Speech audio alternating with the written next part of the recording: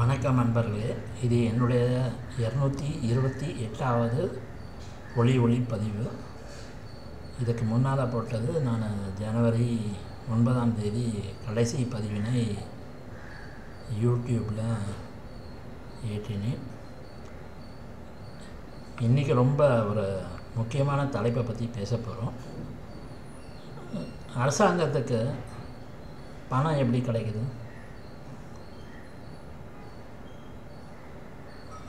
இதாக பார்த்தீங்கன்னா நம்மக்கிட்டேருந்து வரி வரின்னு இது பண்ணுறாங்கல்ல அந்த வரி பணம் தான் அரசாங்கத்துக்கு செலவு பண்ணுறதுக்கு கிடைக்கிற பணம்.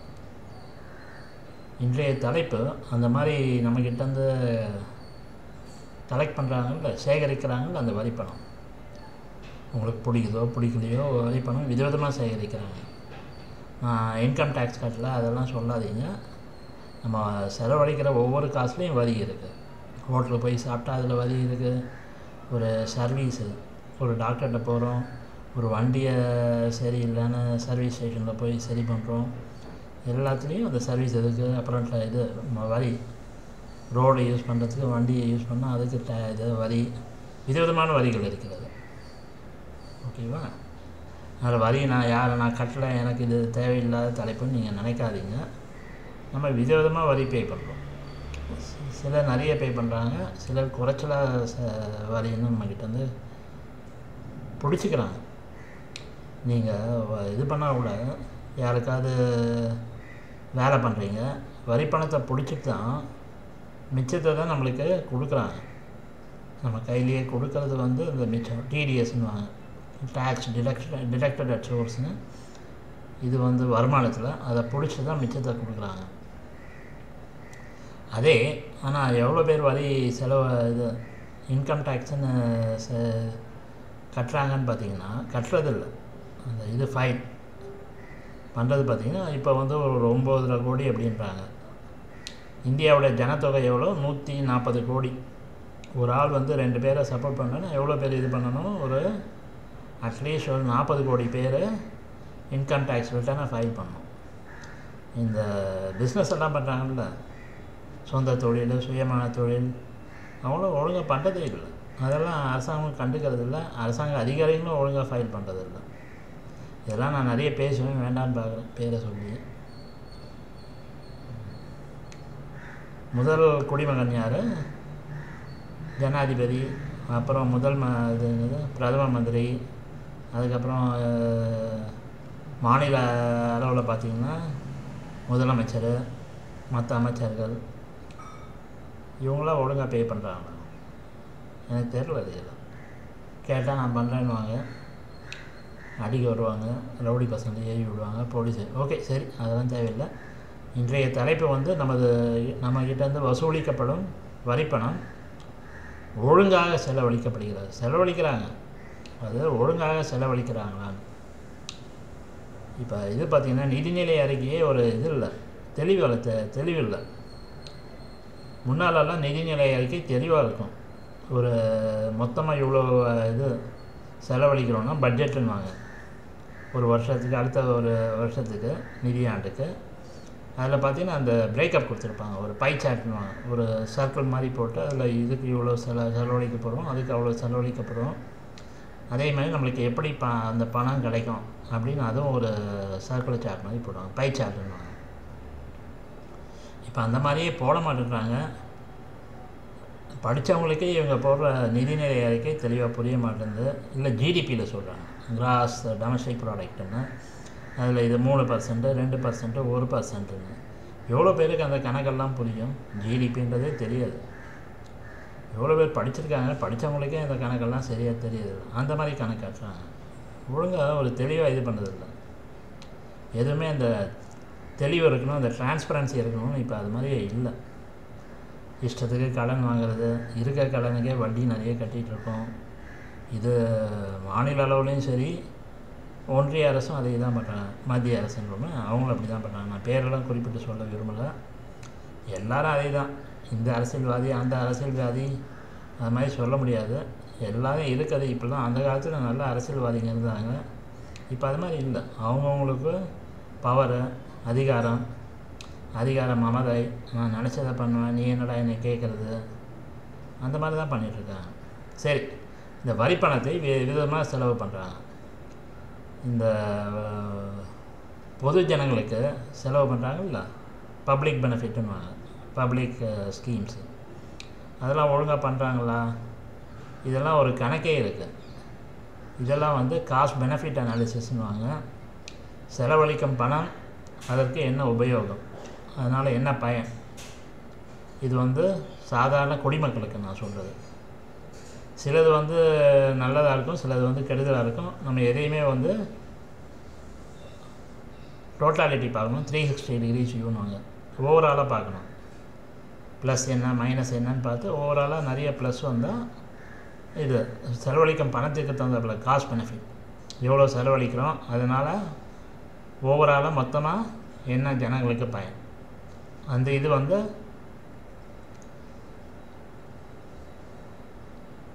பெனிஃபிட் அதிகமாக இருக்கணும் காஸ்ட்டு குறைச்சலாக இருக்கணும். ஓகே செலவழிக்கும் பணம் குறைச்சலாக இருக்கணும் பலன் அதிகமாக இருக்கணும். ஸோ இது வந்து காஸ்ட் பெனிஃபிட்னு போட்டால் இல்லை பெனிஃபிட் காஸ்ட்டுன்னு போட்டால் அது ரேஷியோ வந்து அதிகமாக இருக்கணும். பெனிஃபிட் அதிகமாக இருக்கணும் காஸ்ட் வந்து இது வந்து கம்பெனியும் கூட. இப்போ ஒரு ப்ராடக்ட் பண்ணுறாங்க இல்லை ஒரு சர்வீஸ் ஆஃபர் பண்ணுறாங்க நூறு ரூபாய் செ செலவழிச்சிட்டு தொண்ணூறுரூபா தான் அவங்களுக்கு ரிட்டர்ன் வருதுன்னா அவங்களுக்கு விற்க முடியும்னா விற்க முடியும் இல்லை அதில் அவங்களுக்கு வரும் வருமானம் வரும்னா அந்த மாதிரி பண்ணுவாங்களா? பண்ண மாட்டாங்க. அதே மாதிரி அரசாங்க காரியங்களையும் அந்த இது வந்து அதே இது வந்து உபயோகப்படுத்தணும். பெனிஃபிட் அதாவது பலன்கள் அதிகமாக இருக்கணும் செலவை வந்து குறைச்சலாக இருக்கணும். நான் சொல்கிறது புரியல? ஓகே. ஃபஸ்ட்டு அந்த மாதிரி க- செலவழிக்கிறதுக்கு முன்னால் ஜனநா ஜனநாயகம்னா என்ன? மக்களுக்கு அதிகாரம் இருக்கிறது.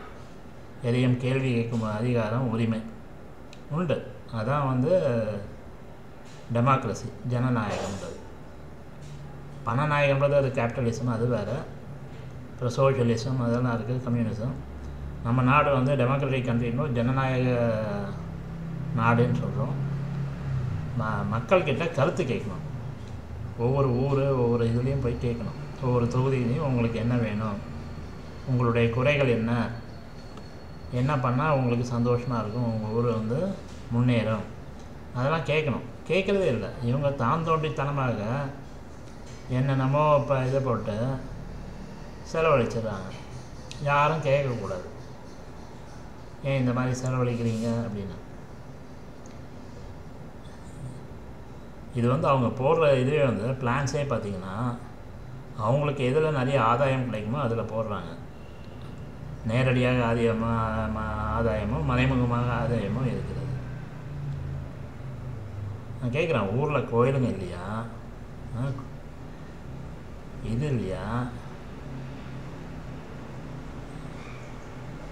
மக்கள் உபயோகப்படுத்துறதுக்கு போக்குவரத்து இல்லையா? எதுக்கு சும்மா சும்மா கோயிலை கட்டின்னு ஒரு கோயில் அதில் வருமானம் வருமா?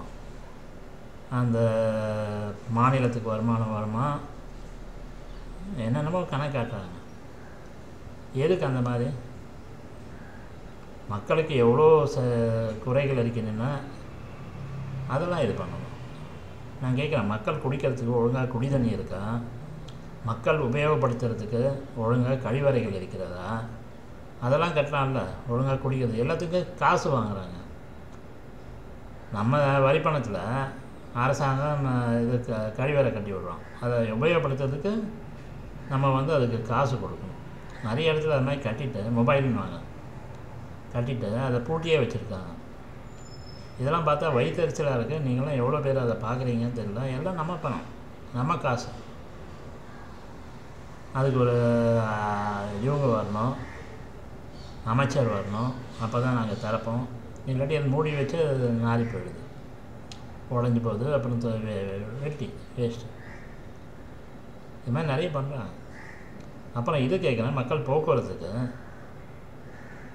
ஏன்? இதுதான் வேணுமா? மெட்ரோ ட்ரெயின் தான் வேணும். மெட்ரோ ட்ரெயின்ன்றது ரொம்ப எக்ஸ்பென்சிவ் ஒரு மெட்ரோ ட்ரெயினில் ஏறி இறங்கணுன்னா குறைந்தபட்சம் முப்பது ரூபாய் தொகை வசூலிக்கப்படுகிறது. எவ்வளோ பேரால் அவ்வளோ கொடுக்க முடியும்? இந்த எலக்ட்ரிக் சபர்பன் ட்ரெயின்னு இருக்குது எலக்ட்ரிக் மல்டிபிள் யூனிட்ஸ் அதை நிறைய எல்லா ரோட்ஸ்லேயும் விட்டா எல்லா வழித்தடத்துலையும் விட்டா ஜனங்களுக்கு உபயோகமாக இருக்கும். ஏன்னா அதில் வந்து வசூலிக்கப்படும் தொ தொகையும் குறைவு.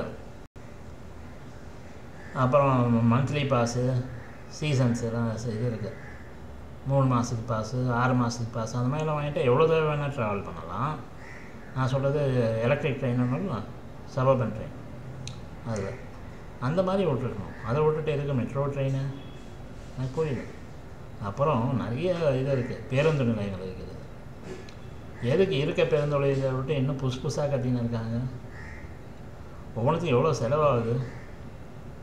அப்புறம் மஞ்சு விரட்டு. எதுக்காக புது இடத்துல மஞ்சு விரட்டுக்கு ஒரு இடம் ரெடி பண்ணணும்? அதனால் என்ன பலன்? அது பக்கத்துலேயே ஊரில் க நடத்திட்டு இருக்காங்க. மதுரை தான் அதுக்கு இது பாப்புலர் நிறைய பண்ணிகிட்ருக்காங்க எதுக்கு புதுசு புதுசாக இது பண்ணணும்? நான் யாரையும் பேரை குறிப்பிட்டு சொல்ல விரும்பல. இந்த கட்சி அந்த கட்சி இந்த அரசியல்வாதி இந்த எல்லாரும் ஒரே இது தான் எல்லாம் ஒரே குட்டையில் ஒவ்வொரு மட்டும் தான் ஆளாளுக்கு சொல்லுவாங்க. நான் அவனோட மே பெட்டர் அவங்கள விட பெட்டர்னு அது கிடையாது. வர வர பார்த்தீங்கன்னா முன்னால் இருந்த ஆளுங்களே பரவாயில்ல அப்படின்னு தோணுது. வர வர எது சொல்லுவாங்க? கழுதை தெரிஞ்சு கட்டெரும்பு ஆச்சு. அந்த மாதிரி தான் போயிட்டுருக்கு. நான் சொல்கிறது புரியுதுன்னு நினைக்கிறேன். நமது வரி பணம் வீணடிக்கப்படுகிறது. செலவழிக்கிறாங்க. செலவழிக்காத இல்லை. செலவழிக்கிறது அவங்க பேக்கெட்லேயும் போட்டுக்கிறாங்க. நிறைய ஃபாரின்லலாம் அக்கௌண்ட் வச்சுக்கிறாங்க. அதெல்லாம் இருக்குது பட் மக்களுக்கு உபயோகம் இருக்கிறதா? மக்களுக்கு நிறைய உபயோகம் இருக்கணும். ஒவ்வொரு ரூபாய் செலவு பண்ணுறதுலையும் மக்களுக்கு உபயோகம் அதிகமாக இருக்கணும். அது இல்லை. நம்ம இது நமது நாடுன்னு இல்லை நிறைய நாட்டில் இதான் நடக்குது. அவங்க போடுற பிளான்ஸே நான் சொல்கிறேன்னா பப்ளிக் வெல்ஃபேர் ஸ்கீம்ஸ்னு பப்ளிக் ஸ்கீம்ஸ்னு அவங்களுக்கு அதனால எவ்வளோ ஆதாயம் கிடைக்கும்? அந்த மாதிரி தான் போடுறான் இல்லை சும்மா நான் இதை ஃப்ரீயாக கொடுக்குறேன் இலவசமாக கொடுக்குறேன் அதை இலவசமாக கொடுக்குறேன் அதெல்லாம் தேவையில்லை. மக்களுக்கு படிப்பை இலவசமாக கொடுங்க. இருக்குன்னு வைங்க அரசாங்க பட் அதெல்லாம் இது இல்லை. எவ்வளோ பேர் உங்களில் கவர்மெண்ட் ஸ்கூல்லையோ கவர்மெண்ட் இன்ஸ்டியூட்லேயோ உங்கள் பசங்களை சேர்ப்பீங்க படிக்கிறதுக்கு? சேர்க்கறது இல்லை எதனால்? இல்லை கவர்மெண்ட் ஹாஸ்பிட்டல்ஸ் என்ன இருக்குது எவ்வளோ பேர் கவர்மெண்ட்டில் அரசு மருத்துவமனைக்கு போகிறோம் போகிறதில்ல எதனால் போகிறதில்ல நம்மளுக்கு காசை செலவழித்து அவங்க ப்ரைவேட் ஸ்கூலு ப்ரைவேட் ஹாஸ்பிட்டல்னு போகிறாங்க தனியார் மருத்துவமனை தனியார் பள்ளிக்கூடங்கள் தனியார் கல்வி நிறுவனங்கள் சேர்க்குறேன். எதனால்? இந்த தரம் இல்லை. தரம் இல்லாதால் போகிறார் அதனால் அரசாங்கம் வந்து பண்ணாலும் இந்த தரத்தை உறுதிப்படுத்த வேண்டும். நல்ல தரமாக இருந்தால் எல்லாரும் இந்த மாதிரி இதில் போவாங்க. அரசாங்க இதில் ஏன்னா நம்ம காசு நம்ம கொடுக்குற காசு தான் அரசாங்கத்துக்கு. அவங்க இதால் வந்து விதவிதமாக பண்ணுறாங்க செலவழிக்கிறாங்க. அது நம்மளுக்கு உபயோகம் வந்து நம்மளுக்கும் சந்தோஷமாக இருக்கும். நமது நாட்டில் அது இல்லை. நான் மற்ற நாட்டை பற்றி பேச முடியாது. நம்ம நாட்டை பற்றி பேசுகிறேன் இல்லை செலவழிக்கிறது பெருசு பெருசாக எதுக்காக உயிரோடு இருக்கும்போது மரியாதை கொடுங்க. அதை விட்டுறீங்க அப்புறம் செத்து போன பிறகு செலவழிக்கிறேன் ஆசிரமம் கட்டுறேன். கோயிலை கட்டுறேன். இதை கட்டுறேன் அதை கட்டுறேன். என்ன உபயோகம்? ஒன்றும் கிடையாது.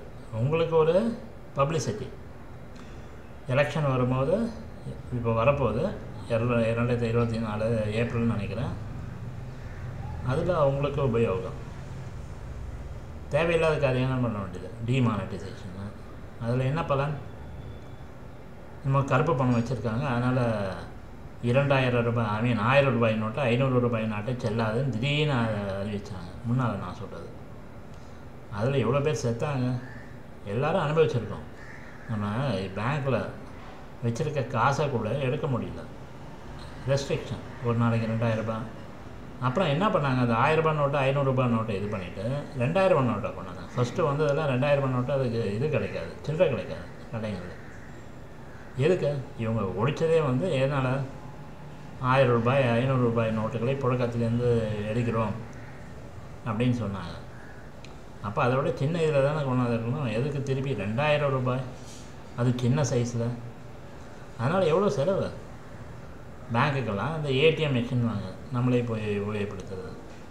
அதெல்லாம் வந்து ரீகாலிப்ரேட் பண்ண வேண்டியதாக அது. ஏன்னா அதெல்லாம் வந்து பழைய சைஸ்க்கு டிசைன் பண்ணுது. பழைய ரூபாய் நோட்டு புழக்கத்துலேருந்து அதுக்கு பண்ணுது.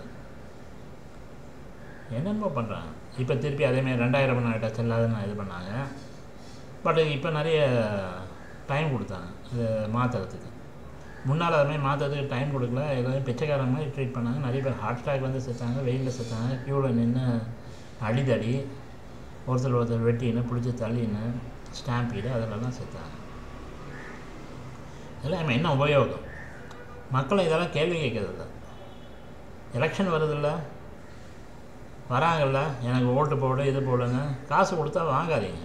நிற்க வச்சு கேள்வி கேளுங்க. எங்கள் இதில் இந்த கூட இதெல்லாம் இருக்குது இதெல்லாம் பண்ணுவியா நீ? எழுதி கொடு. பாண்ட் பேப்பரில் எழுதி கொடு.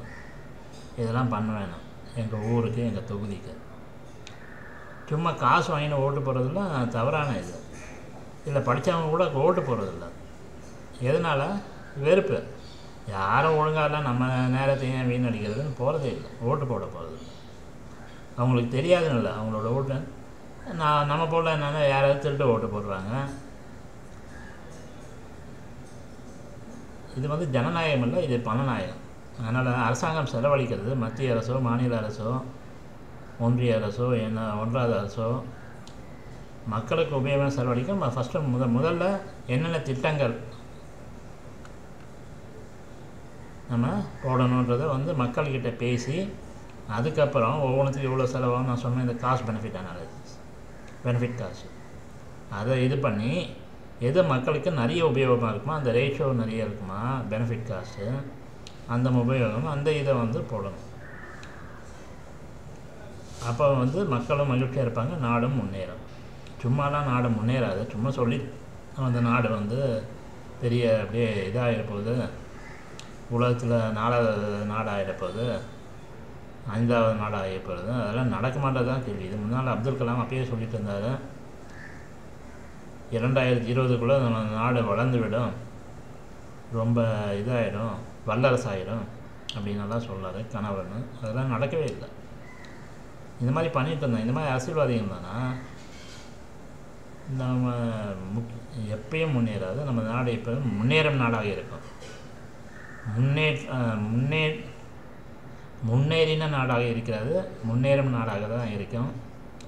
இதை நான் தெளிவாக சொல்ல முடியும். மக்களே இப்போ எலெக்ஷன் வருது. எல்லாரையும் கேள்விகளை நிற்க வச்சு கேள்விகள். எனக்கு ஓட்டு போட எந்த கட்சி வந்தாலும் எந்த அரசியல்வாதி வந்தாலும் எந்த இவன் வந்தாலும் எந்த ஆள் வந்தாலும் ஆம்பளையோ பொம்பளையோ வயசானவங்களோ சின்ன பசங்களோ யார் வந்தாலும் கேள்வி கேளு சரியா? கேள்வி கேட்கறது நமது உரிமை ஜனநாயக நாடு. அதே மாதிரி இந்த மாதிரி இது போடும்போது மக்கள்கிட்ட கருத்து கேட்கணும் என்னமோ பண்ணுறாங்க கிராம சபை இது போய் உட்காராங்க பேசுகிறாங்க அதனால் என்ன உபயோகம் தெரில பப்ளிக் சரி. நான் எப்படி சின்ன வீடியோவாக போடுவேன். இந்த வீடியோ ஒரு பதினெட்டு நிமிஷம் ஆகிடுச்சு மீண்டும் விரைவில் சந்திப்போம். ஒரு நல்ல தலைப்போடு. மிக்க நன்றி. வணக்கம்